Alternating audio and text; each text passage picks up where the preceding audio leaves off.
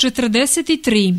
Olupina slavnog ruskog broda nađena nakon više od vijeka. Izvor Vijesti online 18. jul 2018. postavila redakcija.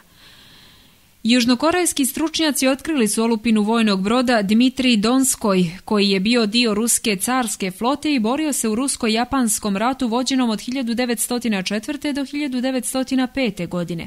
Olupina je pronađena na dnu Japanskog mora kod obala južnokorejskog istočnog ostrva Uleung, prenosi TAS.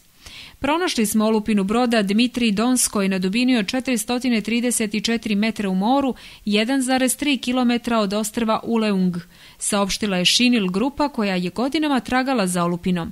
Ta kompanija je navela da se ime broda Dmitri Donskoj nalazi na zadnjem dijelu broda, prenosi Tanjug. Olupina je pretrpjela teška oštećenja mnogobrojnim granatama tokom borbe sa japanskim ratnim brodovima, ali je paluba dobro očuvana, navodi Shinil grupa koja očekuje da će ostaci broda biti izvučeni iz Japanskog mora u bliskoj budućnosti. Dmitri Donskoj učestvovao je u bici kod e, Cušime i uprkos znatnom oštećenju borio se do kraja, nakon čega je krenuo ka Vladivostoku, ali je naišao na japanske ratne brodove koji su tragali za ostacima ruske carske flote.